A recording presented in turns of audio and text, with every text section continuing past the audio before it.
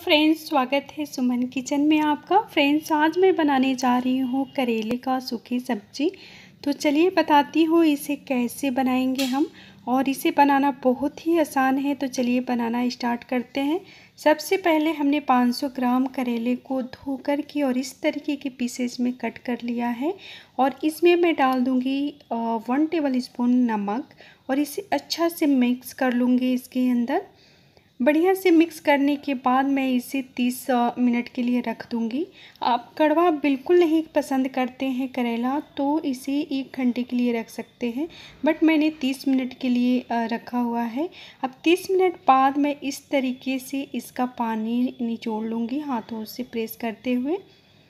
तो ये नमक से जितना इसमें का कड़वाहट होता है, करेले का, वो सब निकल जाता है और उस पानी को हम इस तरीके से निचोड़ते हुए निकाल लेंगे तो इस सब कड़वाहट निकल जाएगा और उसके बाद से हम करेले को बनाएँगे। यदि थोड़ा सा कड़वा खाना चाहते हैं करेला तो आप तो कम टाइम तक नमक लगा के रखिए। इसे पंद्रह से दस मिनट या पंद्रह मिनट, बट मैं तीस मिनट रखी हूँ। अब गैस ऑन करके हमने कढ़ाई रख के इसमें ऑयल गरम किया है और इसमें हम करेले को डीप फ्राई करेंगे। तो आप देख सकते हैं इस तरीके से हमें फ्राई करना है करेले को। सो so, ऑयल हमने गरम कर लिया है और आप ये देख सकते हैं बिल्कुल करारी हम फ्राई करेंगे और ये अब फ्राई होने में है। तो आप देख सकते हैं थोड़ी देर और फ्राई करूँगी इसे। तो फ्रेंड्स, आप देख सकते हैं, बिल्कुल करारी हो चुकी है। अब इसे मैं निकाल लूँगी प्लेट में। और आपके पास यदि करेले और हैं तो उसे भी इस तरीके से फ्राई कर सकते हैं। और मैं इसे निकालने के बाद इसमें प्याज फ्राई करूँगी। तो आप देख सकते हैं, इस तरीके से हम सारे करेले को निकाल लेंगे। और बचे हुए इसी तेल के अंदर मैं प्याज को फ्राई करूँगी। तो हमने मीडियम साइज़ के चार प्याज बारीक कट कर लिए हैं इस तरीके के पीसेज में और इसे भी मैं फ्राई करूँगी ऑयल में। और फ्रेंड्स, प्याज को हमें बिल्कुल ब्राउन नहीं फ्राई करना है। हमें बिल्कुल लाइट ब्राउन इसे फ्राई करना है। हम ज़्यादा प्याज को नहीं फ्राई करेंगे।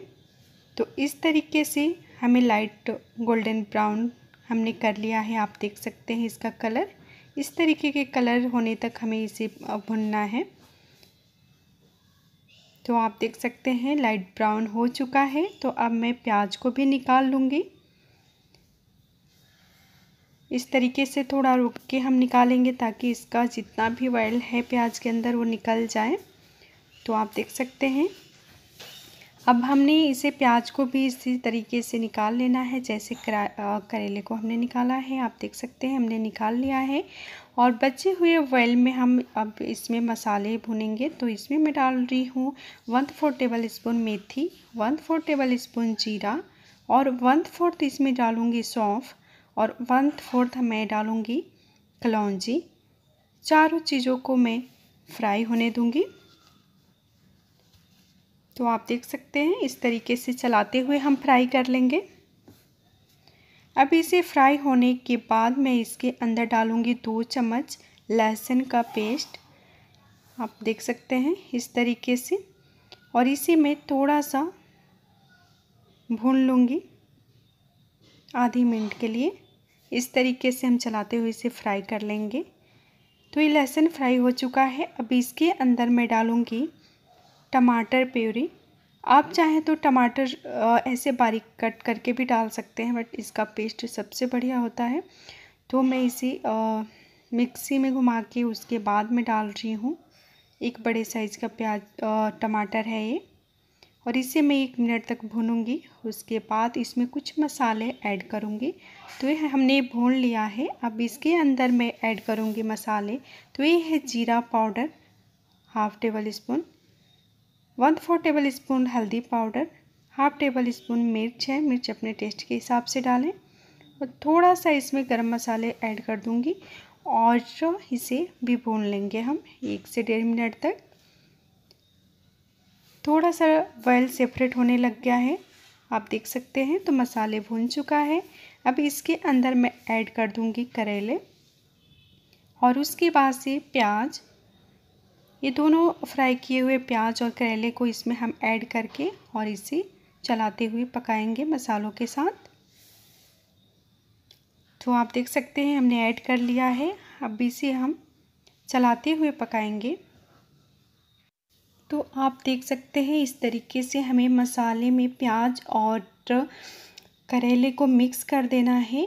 और लो टू मीडियम फ्लेम पे हमें इसे पकाना है। करेला और प्याज वैसे भी पक चुके हैं, लेकिन हमें मसालों के साथ थोड़ा सा और पका लेंगे तो और टेस्टी होगा ये और मिक्स हो जाएगा अच्छे तरीके से मसाले और प्याज और करेला सब। तो इस तरीके से आप एक बार ज़रूर बनाइएगा। ये बहुत ही टेस्टी बनता है और हेल्थ के लिए भी करेला बहुत अच्छा होता है। तो लास्ट में मैं इसमें ऐड करूँगी नमक और आप देख सकते हैं चलाते हुए मैंने दो से तीन मिनट तक पकाने के बाद इसमें नमक ऐड किया है। और यहाँ पे मैं ऐड कर रही हूँ नींबू का जूस। एक नींबू हमने लिया है। यहाँ पे आप आमचूर पाउडर भी ऐड कर सकते हैं।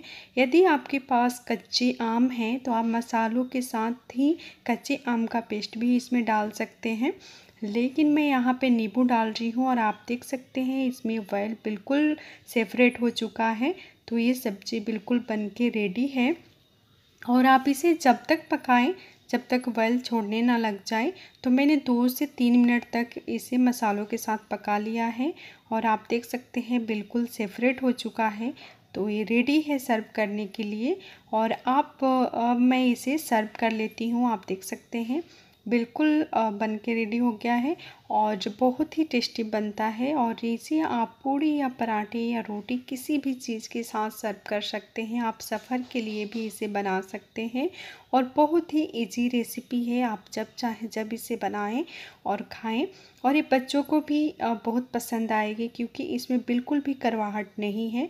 बिल्कुल करेले का जो कड़वापन होता है वो निकल चुका है तो आप इसे ज़रूर बनाएँ और हमें ज़रूर बताएँ रेसिपी कैसी लगी। Thank you